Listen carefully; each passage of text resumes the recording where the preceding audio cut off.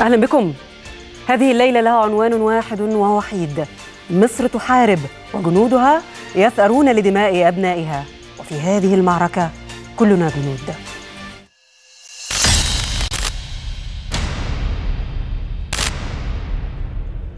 إن مصر تحتفظ لنفسها بحق الرد وبالأسلوب والتوقيت المناسب للقصاص من هؤلاء القتلة.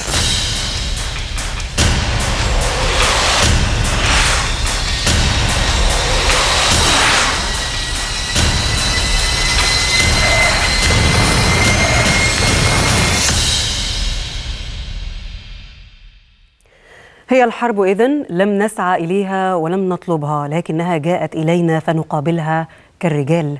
لن ينهزم بإذن الله جيش قوامه 90 90 مليون مواطن مكون من رجال ونساء وحتى أطفال.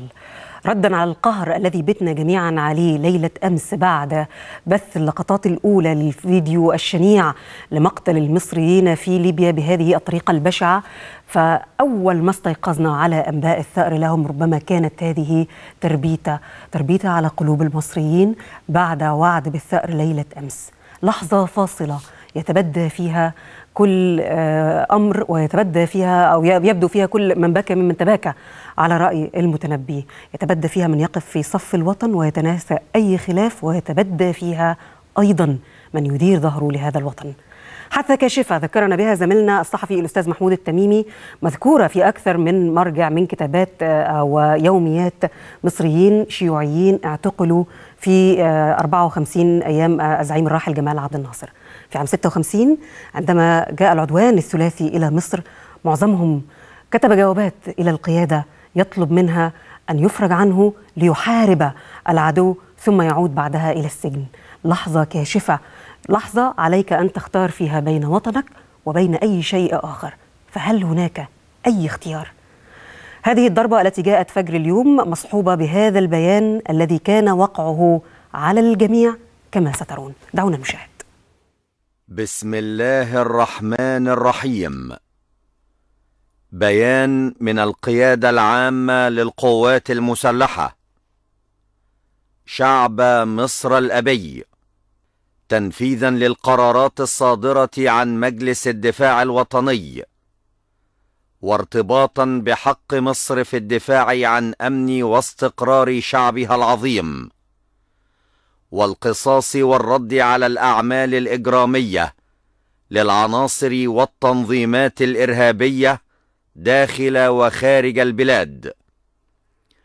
قامت قواتكم المسلحة فجر اليوم الاثنين الموافق السادس عشر من فبراير 2015 بتوجيه ضربة جوية مركزة ضد معسكرات ومناطق تمركز وتدريب ومخازن أسلحة وذخائر تنظيم داعش الإرهابي بالأراضي الليبية.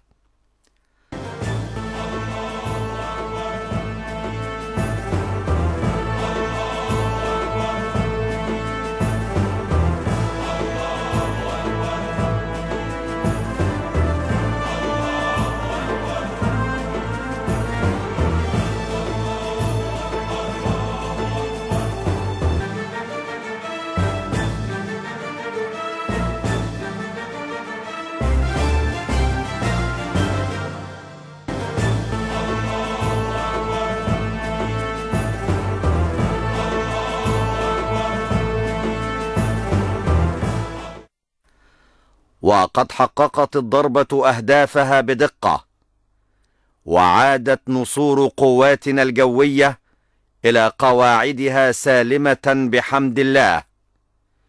وإذ نؤكد على أن الثأر للدماء المصرية والقصاص من القتلة والمجرمين حق علينا واجب النفاذ.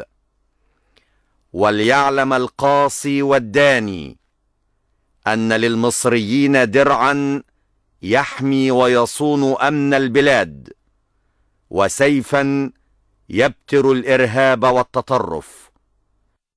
عاشت مصر وحمى الله شعبها العظيم وألهم أهالي شهدائنا الصبر والسلوان.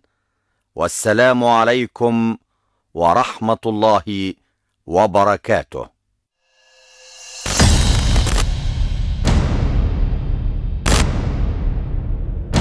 إن مصر تحتفظ لنفسها بحق الرد وبالأسلوب والتوقيت المناسب للقصاص من هؤلاء القتلة.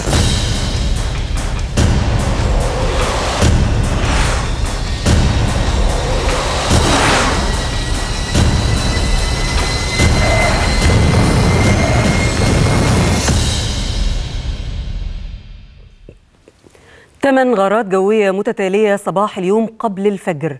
وغارات أخرى بدأ تنفيذها في الساعة الرابعة وربما لا تكون تكون لا تزال مستمرة حتى هذه اللحظة. لم يصدر بيان بشأنها